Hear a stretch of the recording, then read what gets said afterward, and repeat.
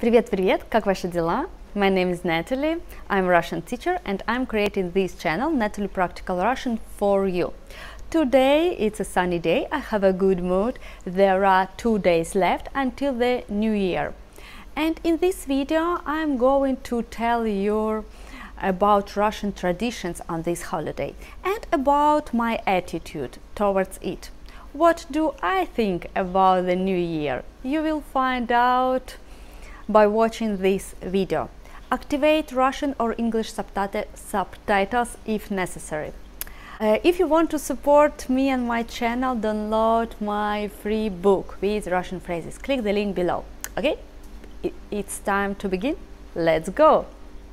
Скоро Новый год, и сегодня я хочу рассказать вам о Новом годе в России. Как люди празднуют Новый год в России.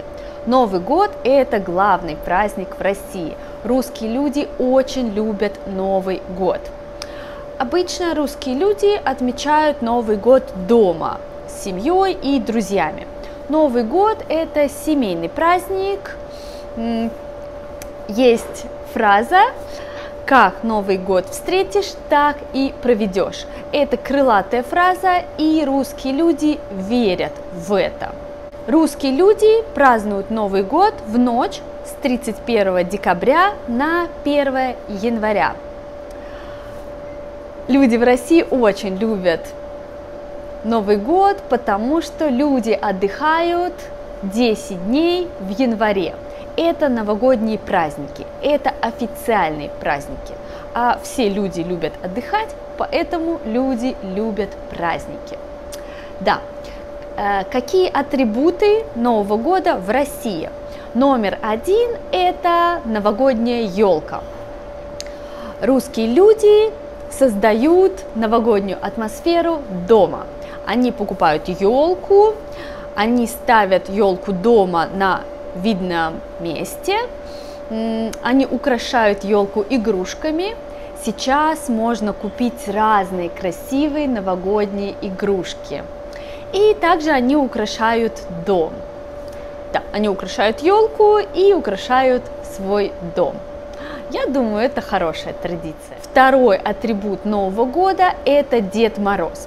Дед Мороз – это дедушка, который приносит подарки.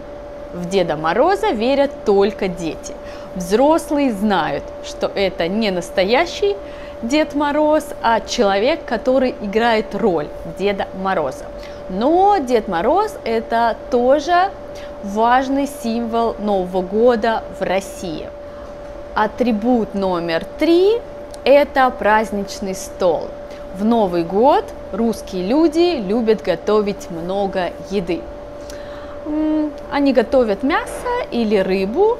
К мясу обычно подают картофель и овощи.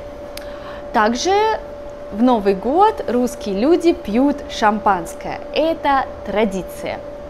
А, и я забыла сказать, на каждом столе в Новый год есть салат оливье. Салат оливье – самый известный русский салат. Следующий атрибут, номер четыре, это новогоднее желание. Русские люди загадывают желание на Новый год – и загадать желание надо в полночь, ровно в 12 часов, когда бьют куранты. И русские люди верят, что если загадать желание в полночь, оно обязательно сбудется в следующем году.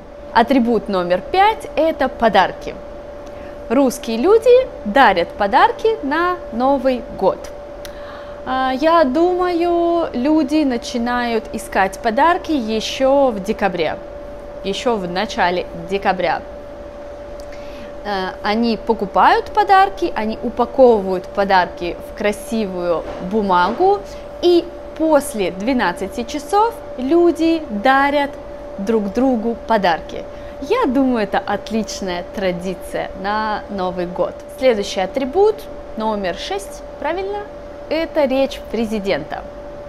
Очень важная часть Нового года – это речь президента.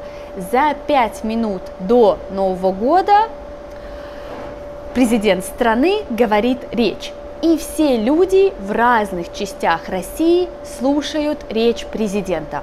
Обычно президент страны подводит итоги года и говорит пожелания на следующий год. И последний атрибут Нового года – это старые советские фильмы. Русские люди в новогоднюю ночь смотрят старые советские фильмы. Например, «Служебный роман», «Ирония судьбы» или «С легким паром», «Кавказская пленница», Самый известный из них – служебный роман. И каждый Новый год люди смотрят одни и те же советские фильмы.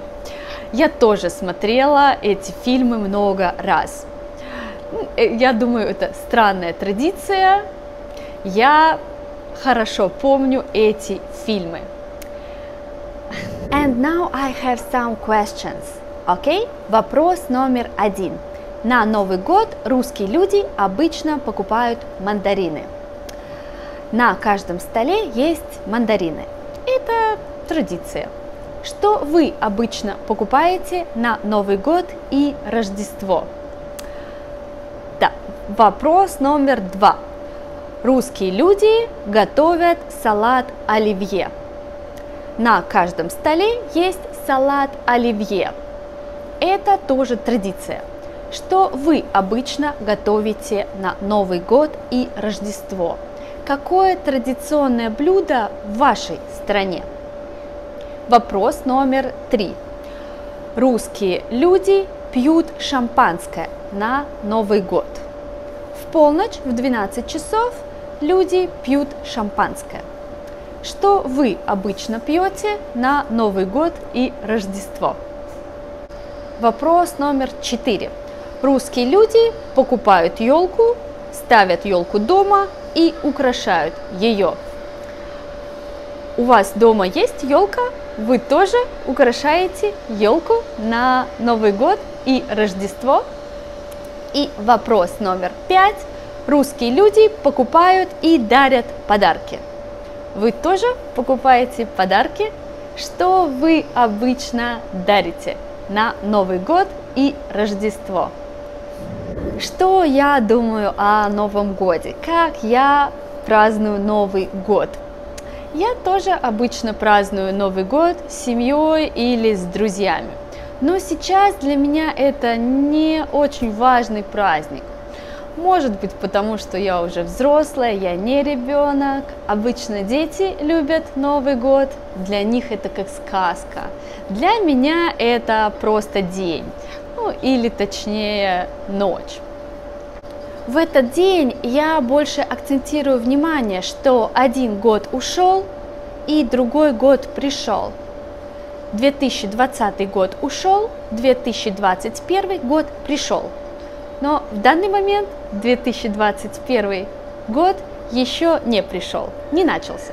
Еще два дня до Нового года. И в Новый год я люблю подумать, что я сделала в прошлом году и что я хочу сделать в будущем году. Если честно, я думаю об этом чаще, чем один раз в год. Раз в месяц я точно анализирую мою жизнь и фантазирую о будущем, о ближайшем будущем. Обычно я строю планы на ближайшие 2-3 2-3 месяца.